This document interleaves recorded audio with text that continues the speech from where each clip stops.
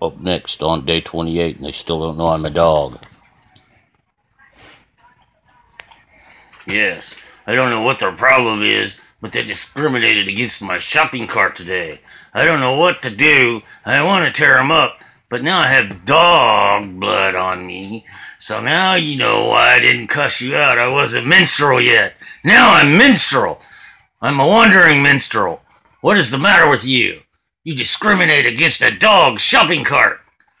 I should choke some sense into you. Up next on day 28, and they still don't know I'm a dog yet. You're gonna get to find out what it's like to die. Yes, they wanted me to go to Riverside Park this weekend. What do you think? Think I should go? Think they're gonna do anything to help somebody? Give somebody something to make up for all the crap that they did? I don't think so! Because what? It's day 28 and they don't know I'm a dog, but they're about to find out!